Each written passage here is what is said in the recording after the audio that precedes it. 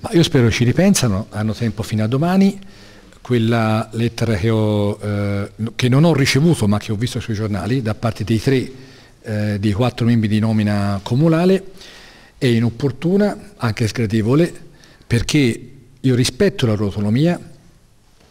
la rispetterei comunque, in questo caso la rispetto anche formalmente perché è sancita dalla Fondazione,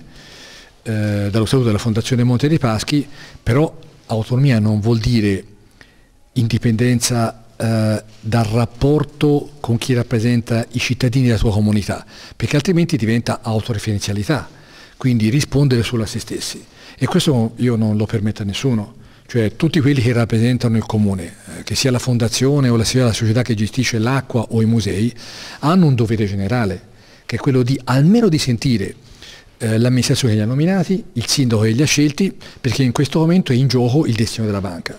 So che la fondazione ha un potere limitato, ma finché ha un potere, finché ha un, uh, un alito di voce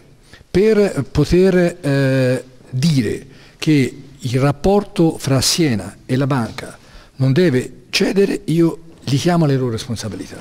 Loro non sono cronisti, loro sono protagonisti e quindi devono uh, spendere, impegnare tutte le loro risorse sto parlando di impegno generale, non sto parlando di, di risorse finanziarie che hanno già impegnato in modo copioso e quindi va dato anche giustificazione a ciò che hanno fatto partecipando all'aumento di capitale perché eh, questa è una partita dalla quale Siena non può rimanere fuori anche se eh, i processi decisionali sono molto grandi e su questo abbiamo bisogno di far entrare in gioco altri soggetti a cominciare dalle regioni e del governo.